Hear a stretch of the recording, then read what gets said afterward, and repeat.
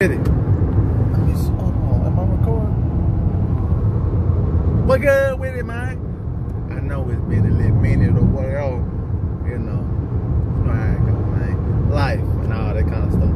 But to kick this one off, I'm gonna go ahead and uh, announce the the orange sock giveaway winners. I know it's been forever, but the winners, you know, I picked two of them. So the first one is Big Chill, my dog, and then the other one is Angela. So all y'all gotta do, just DM me on Instagram so I can get your info, and I'm gonna get them uh, the socks shipped out to you ASAP. You know, but uh, other than that, today I want to talk to y'all about why you're not achieving your goals. And this can go for so many walks of life, but it just so happens to be for, you know, uh, custom sneaker business or whatever. But the reason you're not accomplishing or achieving your goals is because your goals involve things that are out of your control. What do I mean by that? You want like your goal, okay, I want to make 25,000 this month off of customizing shoes. That's out of your control. You feel me? You can't force people or just be expecting people to buy what you provide. It doesn't make sense. That's out of your control. They're gonna buy what they're gonna buy.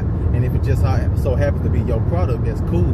But if it's not, you know, if that's what you're expecting, that's gonna tear you down, and then that's gonna mess up your mental and make you not want to do what you're doing no more. Remember what I always said: it ain't about the money; it's about the love of what you're doing. But in that same kind of realm, I mean, if you gotta make money in this, so I would say with me, you have to think. You have to think about, okay, what can I control?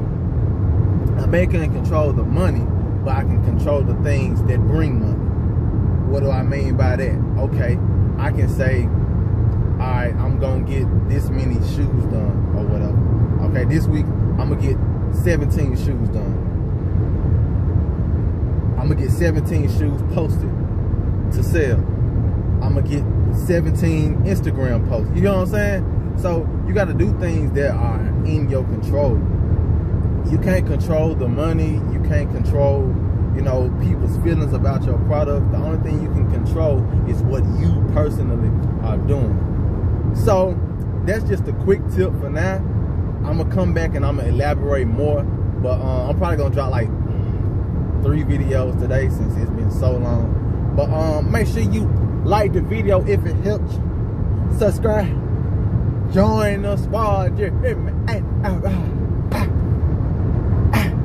I'ma catch him.